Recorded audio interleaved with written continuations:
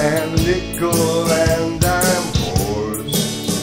But the times they are a changing. This much we agree. It'll take a hundred men or more to hold me down if they ever wanna vaccinate me. You kiss my ass, Bill Gates. Okay, folks, aside from the silly intro song there, appreciate your patience with that. I'm outside of the Winterpock grocery store here. We're in Chesterfield County, Virginia. This is a store that was built in 1926 and it sold gasoline and canned goods, dry goods, things like that. And it also sold uh, food for horses and mules. This was a mining town back in the day.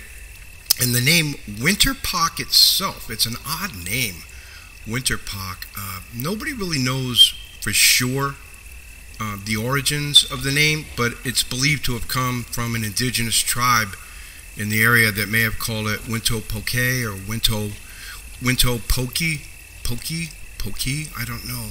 Uh, but anyway, several. This was a mining town for coal, and uh, several railroads had owned the place. Back in 1841, the Clover Hill Railroad uh, was created to haul all the coal out of the mines, and they were delivering it to Richmond and Petersburg and anybody that would take it. Uh, then the Bright Hope Railway took over in 1877, and in 1890, the Norfolk and Western Railway bought it up. Um, and they were getting mines, uh, coal from out in the Blue Ridge Mountains back then, out in the cornfields and the Pocahontas. Uh, anyway, I wanted to talk about the plantation owner. His name was William Robertson, and he was there back in Winterpock uh, all the way from the 16 from 1680. He had two wives, one of whose names was Christina Ferguson, and the other wife, wife's name was Sarah, just in quotation marks, simply Sarah. They had a bunch of kids, a whole slew of them. Nobody knows how many or even what all their names were, but interestingly enough, the very first mine that was found back here was likely found by one of the slaves in the area, uh, and they can't prove it for sure. There was a flood, and this is still a flooding area. It washed out all the soil, and it's believed that one of the emancipated slaves said, Hey, look at this, here's a mine, and he just never got credit for it.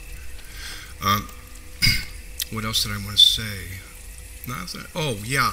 The, the trains that took the coal out of here eventually, before they became roads and highways, they used to haul all of the coal out to the Appomattox River. There was a canal system set up there to navigate. And, uh, well, that's history for you. And I hope you enjoyed all the pictures I took and processed them differently. Thank you for watching. I've got street mural and street art coming up soon. Peace out.